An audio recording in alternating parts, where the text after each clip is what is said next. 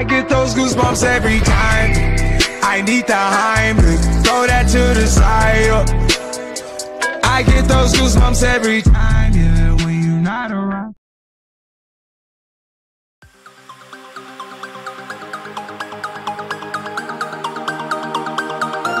Hey guys Squad Mark here bringing you another video.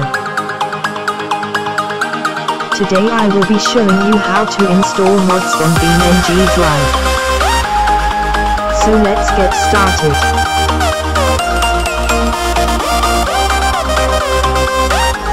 First go to the link in the description and it will take you here.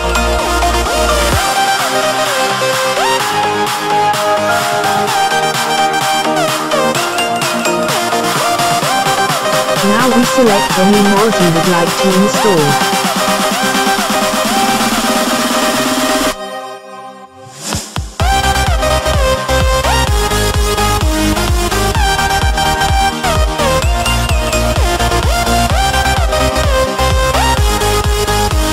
You have selected you click the download button and wait.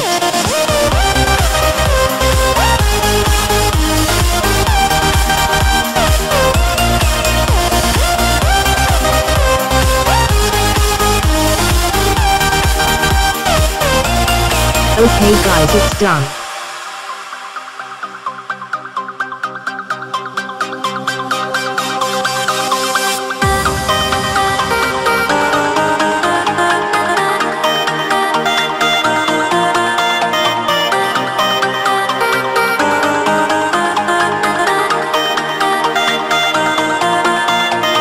Now find where it is and move it to your desktop.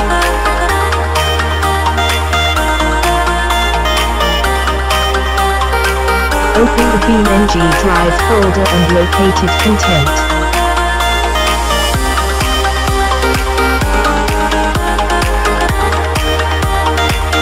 Inside find vehicles and move the downloaded mod into this folder.